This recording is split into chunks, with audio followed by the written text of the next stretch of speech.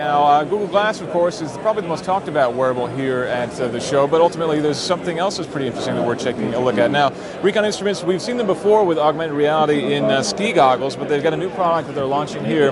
This is called uh, the Jet, and I'm actually going to have to take off my glass to put this on. This is uh, an Android-powered augmented reality display, much like glass, except as you can see, the display is actually down here below. It's got a dual core processor on board and is packed with sensors, much more so than glass. We've got an accelerometer, we've got GPS, we've actually got ANT and Bluetooth as well on here, so you can connect to wireless sensors, things like cadence sensors, power meters if you're a cyclist, heart rate monitors. You can get all that information piped into your Jet headset here, and that can be stored on board in storage and pumped into apps.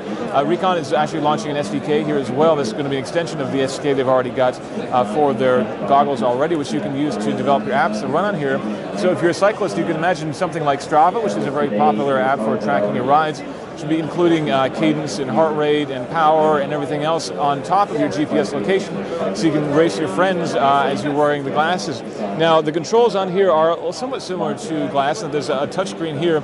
It's an optical sensor, a lot like if you're familiar with the older Blackberries uh, that had the, the kind of replacement for the trackball. It's right here. So you can use that to swipe forward and backward to control. Uh, unfortunately, there's no mirroring, so I can't show you what the interface looks like, but right now it's a very simple uh, Android-like UI. You kind of push in the button to select things. You can swipe around. Uh, I can see a compass on here. I can see a stopwatch on here.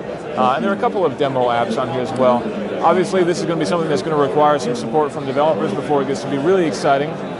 But the fact that it's got so many sensors built in and so much connectivity is definitely something that I can see athletes getting very excited about. I'm certainly a little bit excited about it. Uh, the plan is for this to be releasing sometime before the end of the year, and it will be priced at somewhere around four to six hundred dollars, so quite a bit less than the current version of Google Glass, but still uh, fairly expensive.